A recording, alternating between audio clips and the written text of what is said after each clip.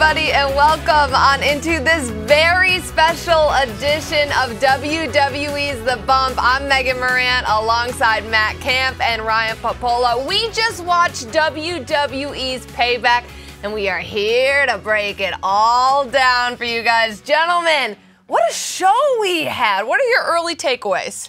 Uh, well, listen, coming off of SummerSlam, you think things may stay the same, things may go a little differently. I think as we look at the Judgment Day, any questions about where they are at may have been quieted at least for one night, Ryan. Absolutely. Also, a lot of statements made, right? There was a lot of high pressure situations for a lot of different superstars, a lot of different circumstance in those scenarios. Uh, a lot of big takeaways from all of that. We'll get into it. Absolutely. We're going to break it all down for you on this special edition of WWE's The Bump. But we will start where the night ended, and that is, of course, with the match for the World Heavyweight Championship between Seth freaking Rollins and Shinsuke Nakamura. Now, Shinsuke Nakamura told us all that he knew about Seth freaking Rollins' back, and he was willing to expose it. And Shinsuke went as far to make this match personal. Now, Shinsuke gave Seth just about all he could take, but at the end of the day, it was Seth freaking Rollins holding that World Heavyweight Championship high and retaining his title.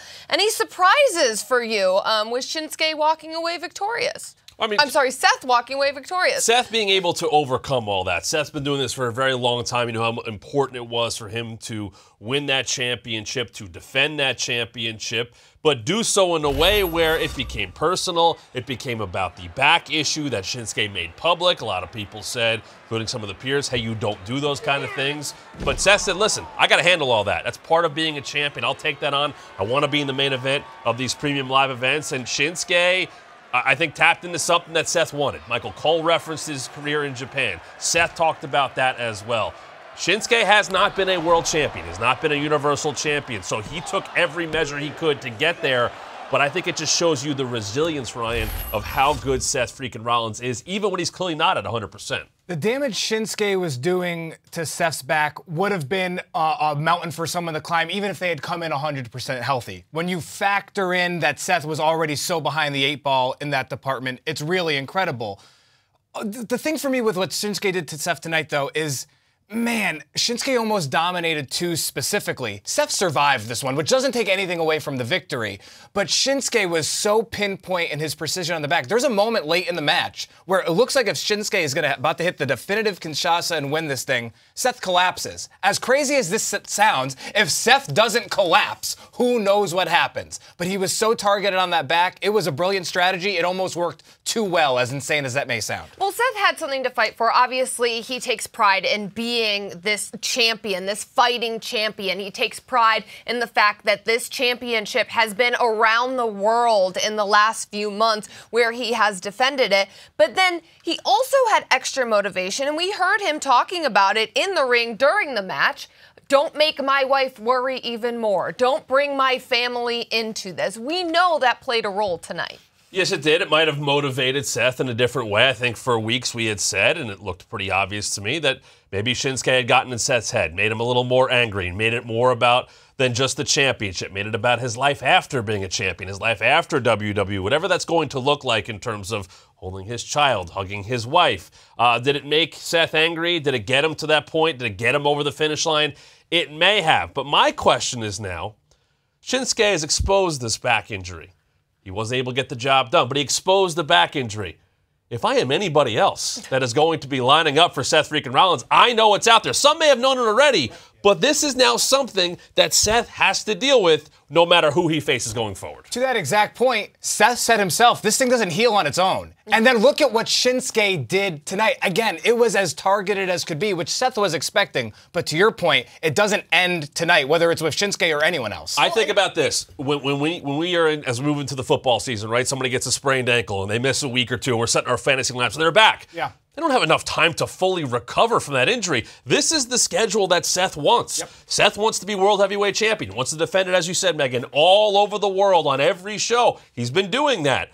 But he won't have that time to rest. And when he does have time to rest, he's going to spend it with his wife. He's going to spend it with his daughter. I don't know how much time he's going to get in the rehab pool or anything like that. But this is what he wanted, and this is something he will have to deal with until further notice. And to that point, Matt, um, after after the match between these two gentlemen, Shinsuke Nakamura and Seth freaking Rollins. This footage release, you may have already seen it. It was released on WWE social media, but Shinsuke Nakamura did attack Seth freaking Rollins, as you see right there.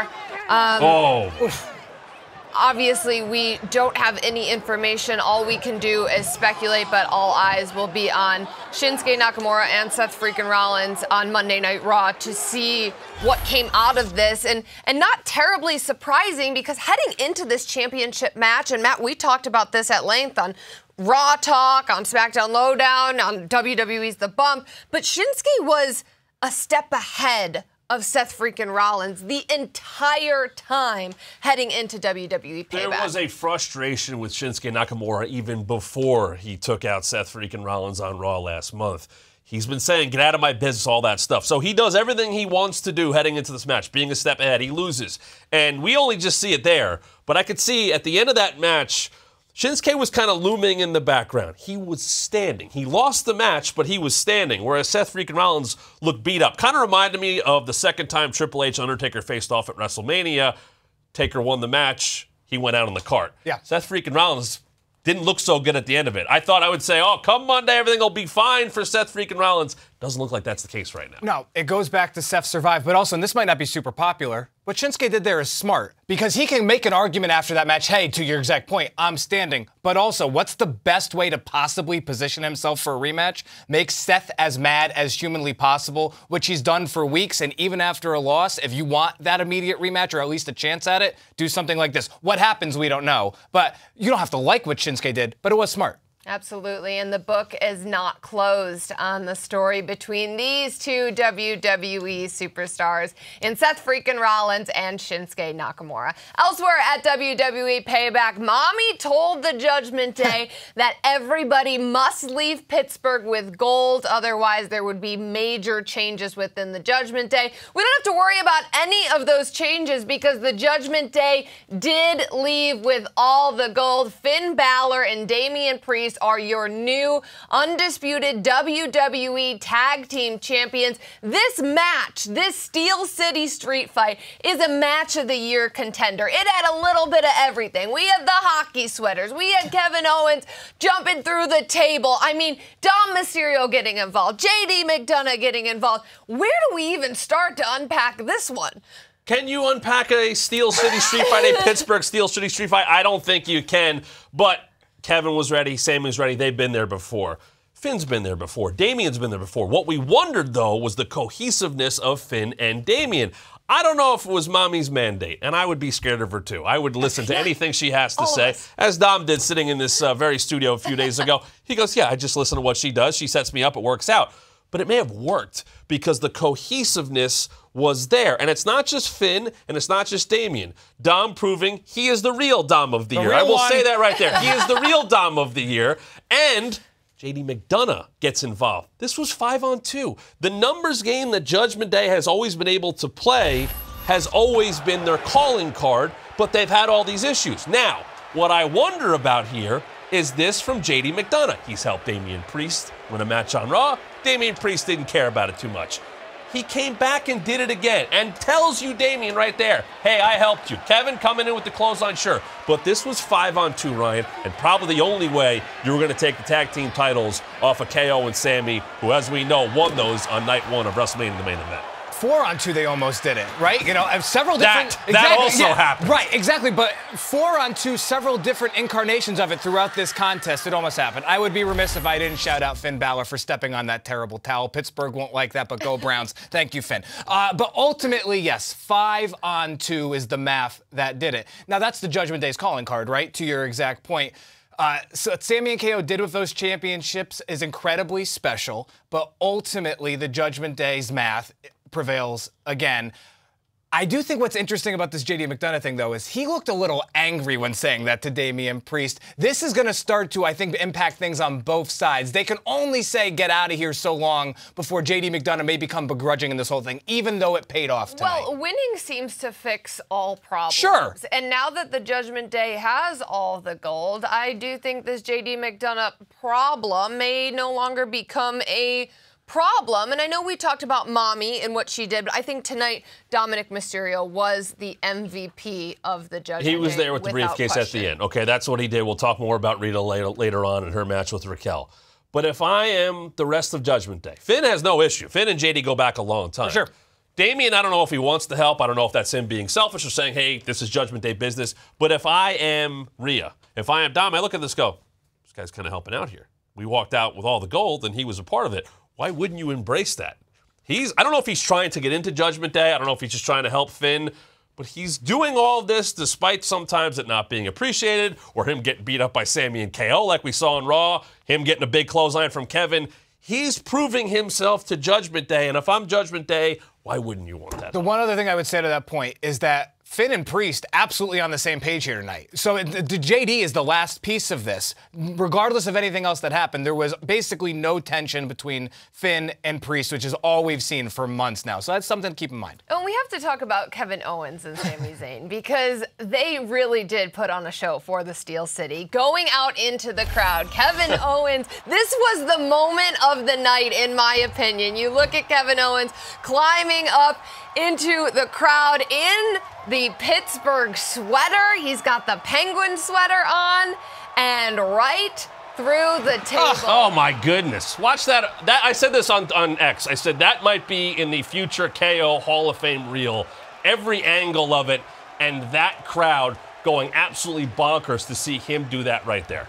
We have um, some reaction from X as well because um, they were reacting similar to the way that all of Pittsburgh was reacting. This was an incredible match. Hashtag fight Owens fight. Hashtag Sami Zayn have hit another level. Two of the greatest to ever do it. Absolutely beautiful. That's from our good pal Sam Roberts. What a hell of a match. That was a proper tribute to Terry Funk as we saw Kevin Owens wearing the t-shirt to pay homage to the late great Terry Funk. Absolutely amazing match um, in the Steel City street fight. It's only in WWE where you can say that two men swinging kendo sticks at another man in a garbage can was beautiful. But it was actually beautiful. Several wardrobe changes for KO. It's a shame that this ends. Here it is. Uh, this was an incredible moment. Uh, it's a shame that it ends this way uh, for Sami and KO. But Matt, to your point, uh, an incredible reign since WrestleMania, and ultimately five on two is five on two. Look what it had uh, five on two. Uh, every kind of trick in the book, and the fact that yeah, there was even a line change in this match as we saw. They hopped over the boards, got in there. A lot of uh, Pittsburgh fans love that one right there as they get ready for the hockey season. But Kevin Owens and Sami Zayn wanted to end this at Payback. Now it feels like it's got a whole new beginning here for what's going on with the Judgment Day, where they head out. But ultimately, Mommy said, "Get all the gold." They got all the gold, and Kevin and Sami, they have some uh, probably anger to take out come Monday. Of course, we'll have to wait and see what is next for Sami Zayn and Kevin Owens. Um, now that they no longer are the undisputed WWE Tag Team Champions. But look out because the Judgment Day is getting stronger by the minute. They have the gold, they have the briefcase. They are pretty much unstoppable. Elsewhere at Payback, another match that was a, mat- a contender for Match of the Year. This was absolutely outstanding. After months of going back and forth, Becky Lynch and Trish Stratus finally met inside a steel cage match. No interferences could possibly take place. Oh, but wait. They did. Zoey Stark did get involved in this match a little bit, but Becky Lynch was not letting anything stop her from putting Trish Stratus away once and for all. Trish Stratus' first steel cage match, and Man, did she impress. But this has the WWE Universe talking right now. Because at the end of the match, after everything that Zoey Stark and Trish Stratus have been through, that is what Trish Stratus did to her protege. Matt, I do have to wonder if, and first of all, thank you, Trish, tough night. But I do have to wonder that if, from Zoey Stark's perspective, the moment that slap happens is if she thinks what I thought, even before any of what we are about to see happened, which is, well, I've maxed this out, right? I've gotten everything that I can get out of this Trish Stratus relationship. I don't know if she would have thought that if a slap to the face didn't occur, but I do think it might have been that simplistic for Zoey Stark as we see the end result here. Just used Zoey Stark. I- from, from the jump. I don't know. I, I don't know Zoey if I would go that far. By the but I way, agree with you. I not agree a, with you. Not a bad idea. I think it was use, beneficial for both parties. But Trish slapped her. Zoey tried to help. Trish couldn't it get the wasn't, job done. Trish tried to help Zoey on Raw. Zoey couldn't get the job done. That's a very motivated Becky Lynch. But if we talk about Zoey and Trish, great job by Zoey to align herself with Trish Stratus. We know how things started at Night of Champions. The Z360 took Becky out. Trish wins the first matchup.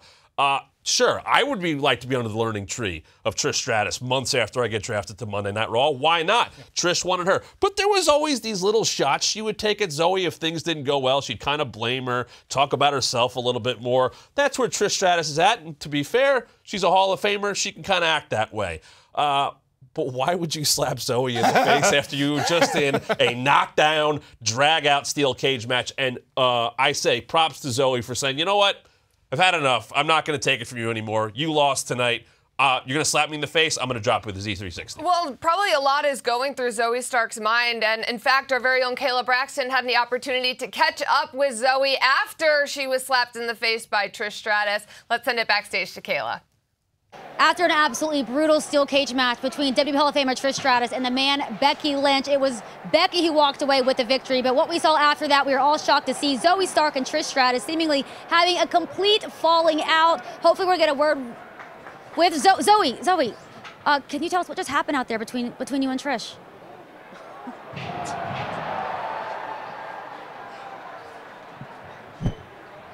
Well, thank thank you, Kayla. Um, not a lot of clarity from Zoey Stark. I'm sure we will learn more on Monday Night Raw to find out what is exactly going on between Trish Stratus and Zoey Stark. But I think it is safe to assume the relationship is at the very least fractured, if not over.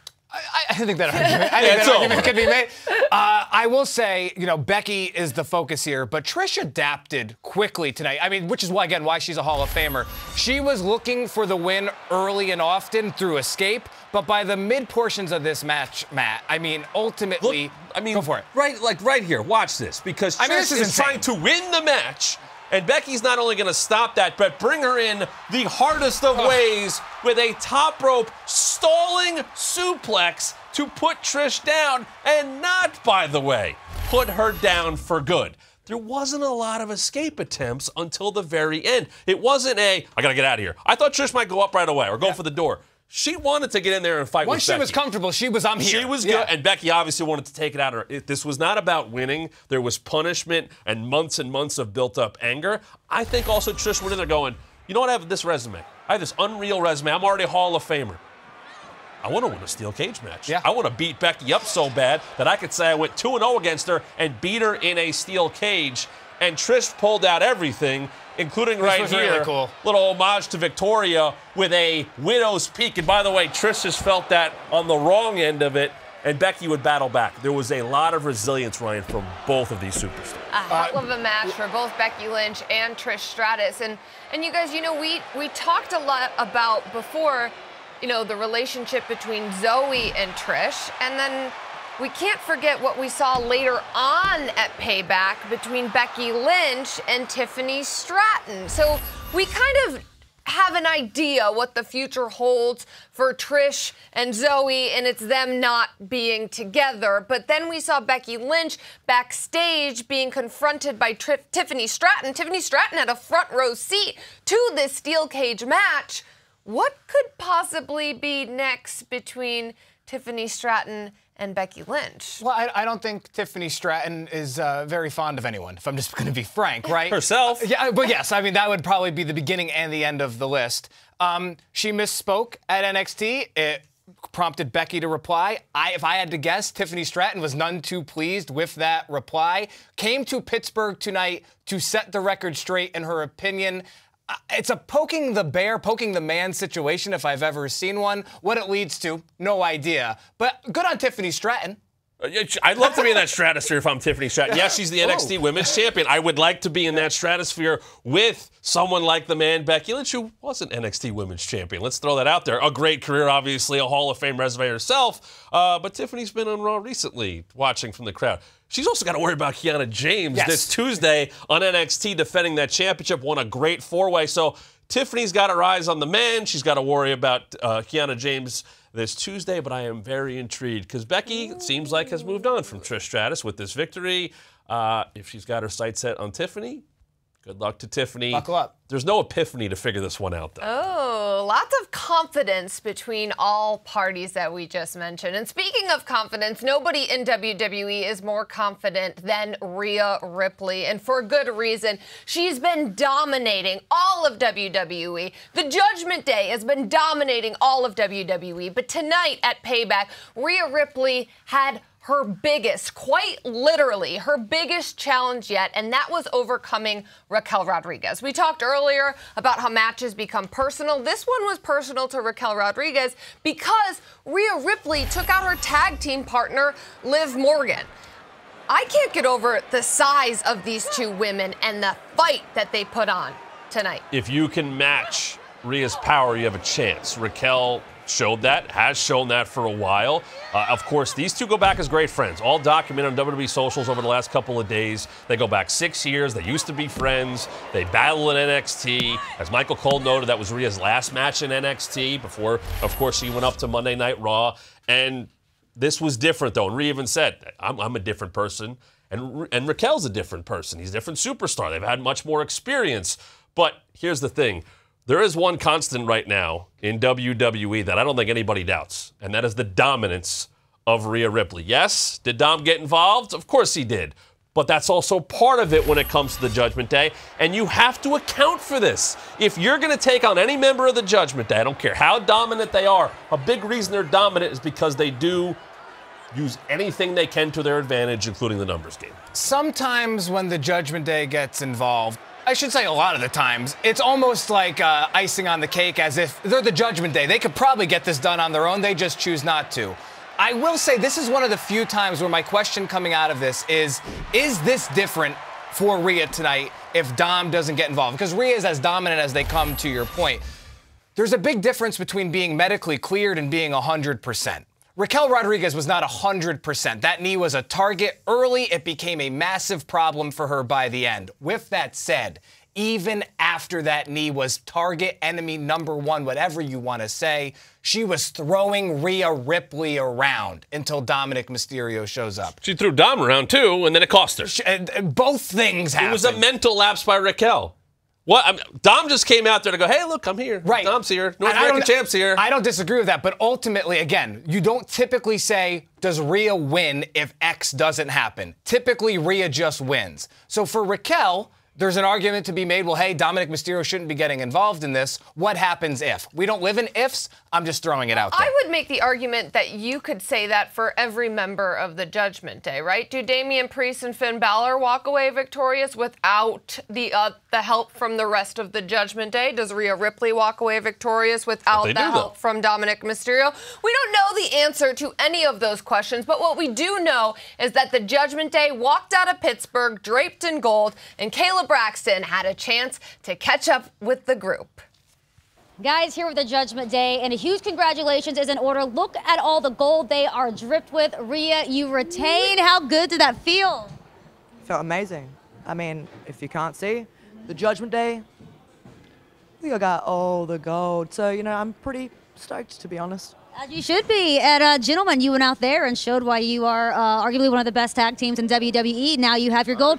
You you are Grand Slam champion now, by the way. Congratulations. Finn and also undisputed tag team champions of the world, Finn Balor and Damian Priest.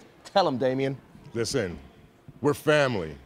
Sometimes we fight like siblings, but when we're on the same page, nobody stops the judgment day, and we always rise. That's right. And Dominik, yeah, people were talking about, you know, the inner fightings of, of Judgment Day. So what do you have to say to that based on what we're seeing right now? Nothing. Just look at us. There's nothing to say. We're dripped in gold, and we run all of WWE.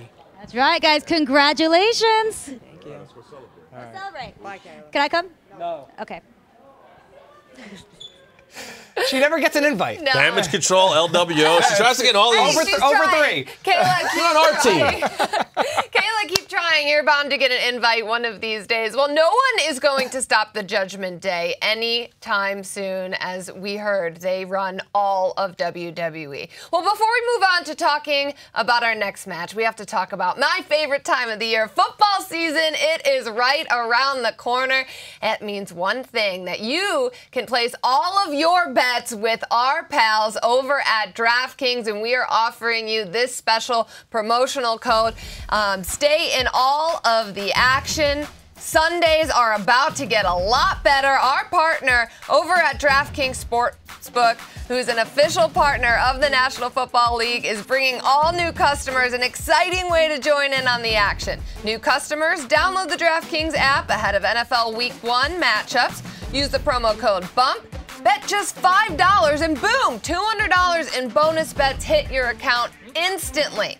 Stay in on all the action and use your $200 bonus to bet on DraftKings same game parlay. Combine multiple bets together from the same game for a shot at an even bigger payout. If sports betting is not yet available in your state, don't worry. You can still join in on all the fun with DraftKings Daily Fantasy and have a shot to win cash prizes. So make sure to get some skin in on the game and download the DraftKings app right now. New customers use the promo code BUMP. Bet just $5 on any wager and get $200 in bonus bets instantly only at DraftKings Sportsbook. Here's more from Kevin Hart and Ryan Fitzpatrick, Fitzmagic himself, on DraftKings. Instantly. DraftKings, you spoiling me now with these big payouts. Retired NFL smart guy Ryan Fitzpatrick. Break it down for us. Just place your bet, and the bonus bets instantly appear in your account. Like magic. Like Fitz magic. That's too much magic. It's too much magic. Want to turn five bucks into 200 instantly in bonus bets? Download the DraftKings Sportsbook app because life's more fun when you're in on the action. The crown is yours. Fitzmagic is a Harvard grad, so we know that he is smart and he is betting smart with DraftKings. So just a reminder, use that promo code BUMP when you bet $5. You get $200 in bonus bets. It's an awesome opportunity for all of you new customers out there. Don't forget to download the DraftKings Sportsbook app today. We are just seven days away from football. How exciting is that? Four days. Four days. There's a game on Thursday.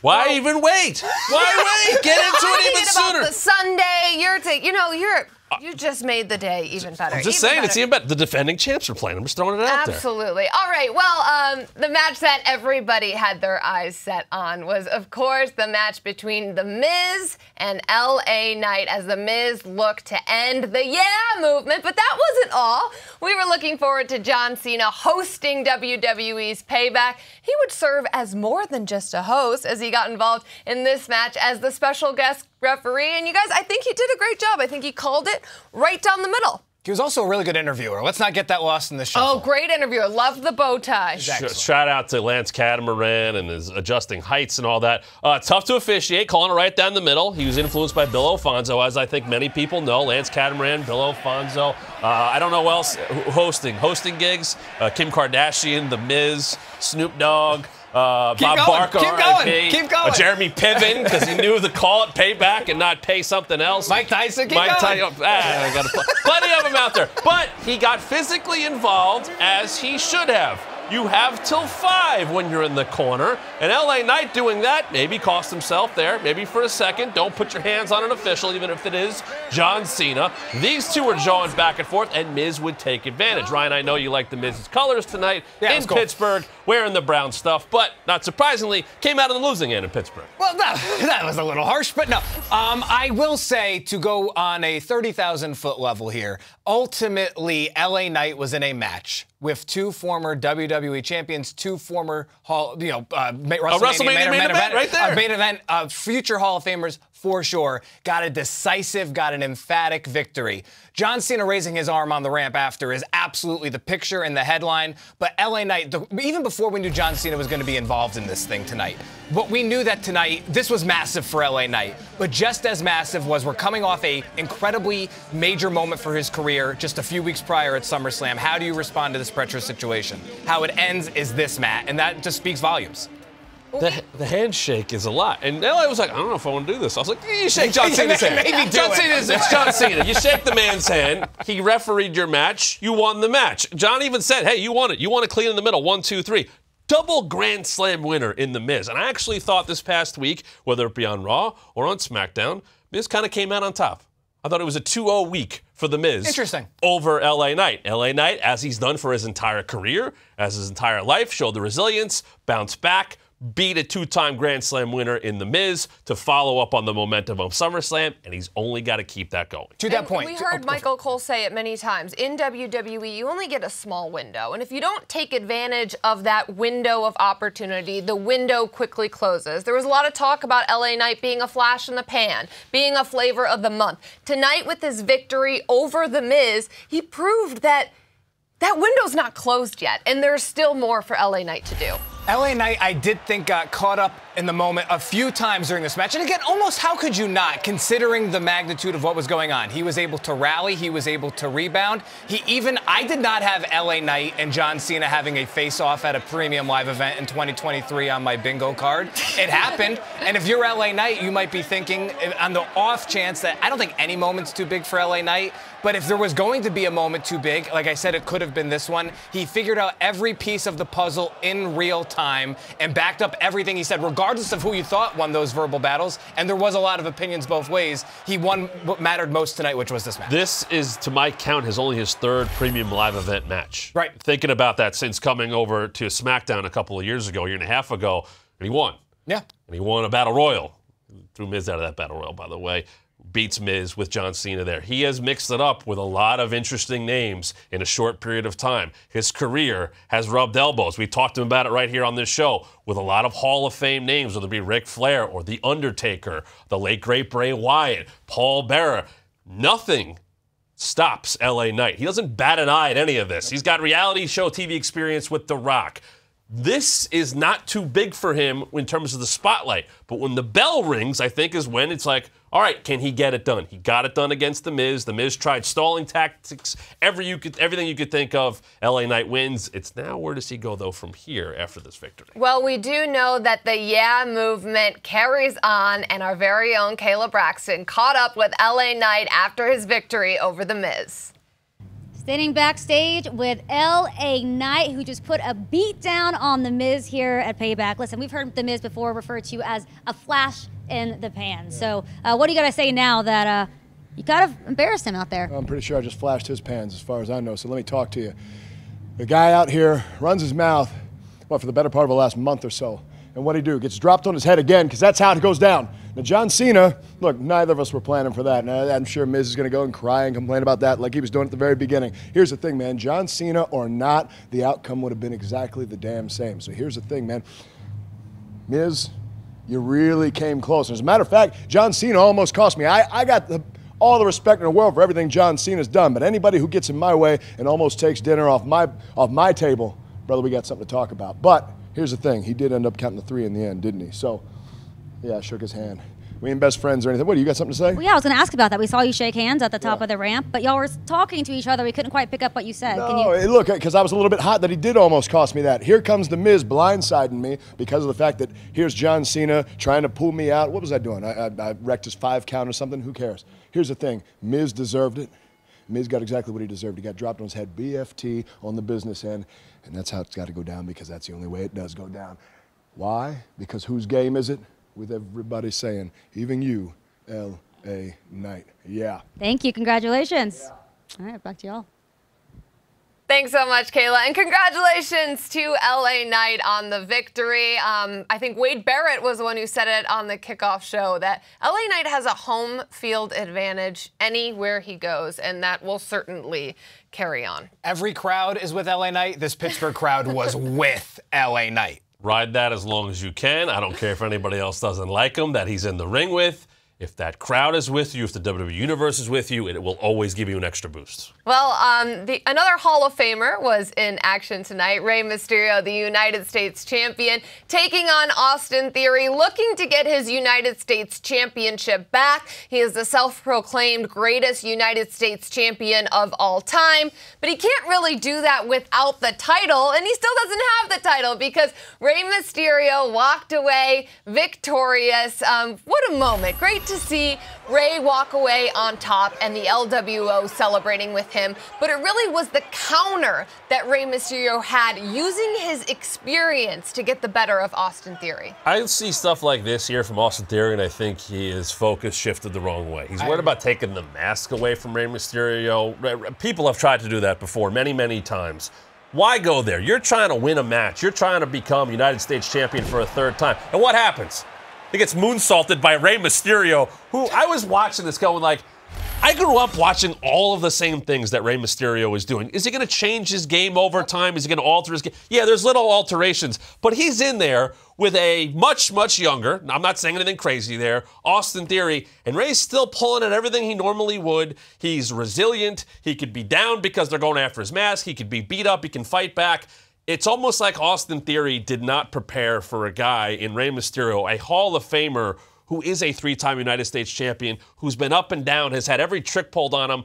I don't know if Theory was prepared enough for this one. And this was right after they had a tag match on SmackDown the night before. That Theory and Grayson Waller won but it was Waller who got the victory in that match over Santos Escobar. It was almost like Theory was trying to ride that and didn't think about that enough. The pace was at 10 for this one throughout the entire duration, and Austin Theory was in control firmly until that moment we just saw with the match. That was the only time the pace load was a man trying to rip another man's mask off. And two things can happen when you do that. We've seen it to your point many times. You can shift Rey's focus potentially, but what ultimately happened is the pace went right back to 10 and Rey Mysterio was a Hall of Famer and to your point used his experience advantage advantage and just ran circles around Austin Theory literally at the end of this match.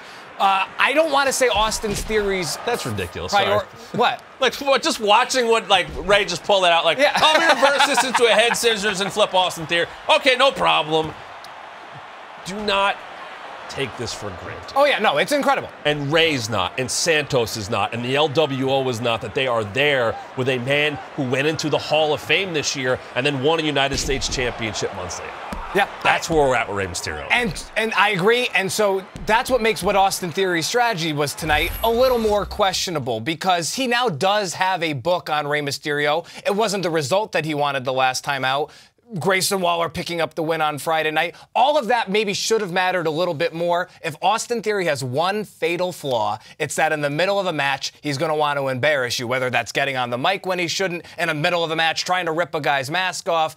Uh, Austin Theory is great, but you can't do I don't want to call them stunts, but you can't do these things against a Hall of Famer, especially when Rey Mysterio doesn't like you very much to begin with. Well, we have to appreciate what the LWO and what Rey Mysterio are doing. And in fact, Kathy Kelly caught up with the entire LWO backstage.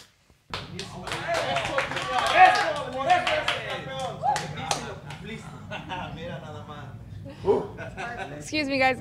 Rey, congratulations. Well, didn't go your way last night in the tag team match against Austin Theory. Tonight is where it counts. Retain the United States Championship. I have to ask, how is LWO planning on celebrating? Wow, my man, you you were the one that set up the party. So where are we going afterwards? You know the magic word is tequila. Tequila. That's, That's how we exactly celebrate. It is, tequila. But you know what? What I do know is that Austin needs to go to the back of the line.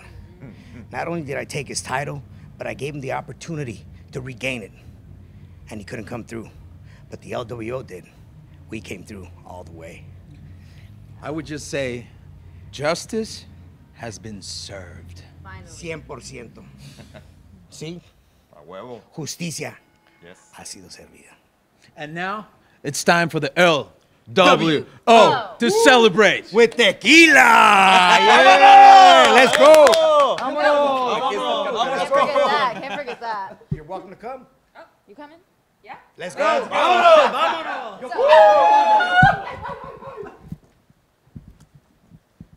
Kathy's going to drink tequila with the LWO. Kayla, Kayla, you got to get with the right people. I love to see the LWO celebrating that way. And Rey, Rey Mysterio says tequila. We all drink tequila, right? That's how it works. Your choice. If Okay, you want all right, to, all right. sure, that's Yeah, all. sure. Whatever you want to do. Okay, all right. All right. Well, you Dealer's know, choice. another guy who does Fill up your anything. tin cup chalice. Go for it. Anything they want to do is Grayson Waller, and he had possibly his biggest get yet on the Grayson Waller effect. Of course, that was the American Nightmare Cody Rhodes, and Grayson Waller had teased before the show that Cody Rhodes was about to make a massive announcement, and that is exactly what we got because just a few weeks ago we learned that Jey Uso was quitting WWE until Cody told us otherwise. Please welcome your newest member of the Monday Night Raw roster, main event, Jey Uso.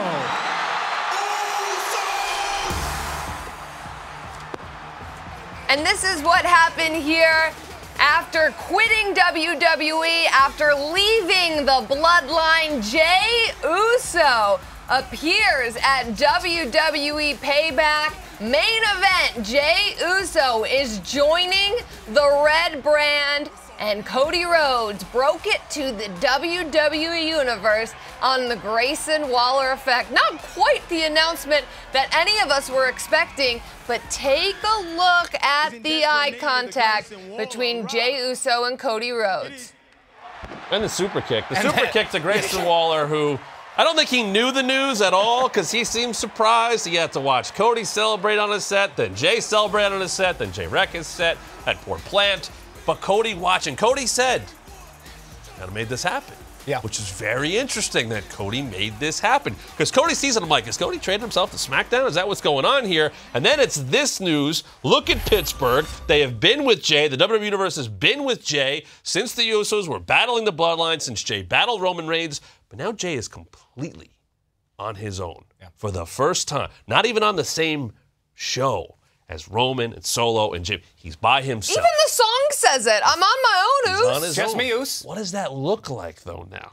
Yeah, my big question coming out of this is what does Jey Uso do on the red brand? Because I have a lot of exciting possibilities that are already floating through my head. Real quick on Grayson Waller, that went very quickly from calling Cody Rhodes kid, which was amazing, to laying there unconscious with his eyes open. Somehow it was a, I'm sure you're wondering how I got into the situation type of moment. He used a real soft drink to heal his uh, wounds Yes. later on, which was fine. It was an interesting night for Grayson. Yeah. I want to just go back to that for a second because he has been in there on the Grayson Waller effect with Cody Rhodes, with Charlotte Flair, with Asuka, with Rey Mysterio, Money in the Bank with John Cena, with Edge, you name it.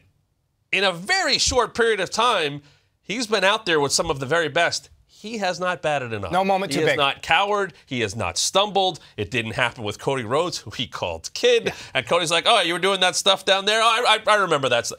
And Grayson went with it. And Grayson went with the Jey announcement and was like, "All right, Jey's in here. I don't have questions. Okay, let's talk about." I like where Grayson's at right now. But Jey on Monday Night Raw becomes very intriguing because hopefully he has put everything that's gone on with the bloodline, at least for now, behind him and can focus on a singles career that could be very fruitful. Well, I mean, to go back to the main event of SummerSlam, which ultimately is a rough night for Jey by the end of it, but he is a few different breaks away from dethroning the tribal chief. Singles main event. Yeah. Uh, the red brand is a totally different set of circumstances. There's a totally different set of champions. Uh, I just in my head am imagining a Photoshop of Jey Uso with that World Heavyweight title, which maybe one day doesn't have to be a Photoshop. That and so many other things are now possibilities on the red brand, which is really, really exciting. Yes, I just keep thinking to myself the way that Cody Rhodes was looking at Jey Uso and the way Cody Rhodes said that he set this whole thing up. But Matt, you mentioned it, a massive night for Grayson Waller, as most nights for Grayson Waller are. He caught up with Kathy Kelly backstage. Grayson, I know you were bummed about not hosting WWE Payback, but you got two really good guests on the Waller effect. Um, how is your jaw feeling after that super kick? Well, you think you're funny, huh? Yeah, but uh, a lot of people are laughing right now about what happened, but I just had two of the biggest stars in the entire industry on my show, and regardless of what happened, that clip's about to go viral. This is a good day for Grayson Waller. I guess that's the Grayson Waller effect, isn't it? Stop DMing me too, okay? I'm over that. I don't DM him. I don't. I think every time we see Grayson Waller, he has um, less and less buttons um, actually buttoned on his He's a shirt. two-button guy. Yeah. Yeah. Mid two-button guy. Maybe one and a half buttons type of guy. He's he doesn't yeah he's not he's not a big button guy, but he's got a lot of confidence and um, he should because he always attracts the best and brightest stars on the Grayson Waller effect. Well, now that payback is in the rearview mirror, we are on the way to Fastlane. That all takes place October 7th in Indianapolis, but a lot more to come before we get there. Obviously, Monday Night Raw takes place, and I'm sure there's a lot of questions that need to be answered, especially after we learn those from Payback. And of course, we will be here to break it all down for you, as we always are, every Wednesday for this week's edition of WWE's The Bump. So don't go anywhere. Make sure you tune in on Wednesday to The Bump for Matt Camp, for Ryan Pappolla. I'm Megan Morant. We will see you guys on Wednesday.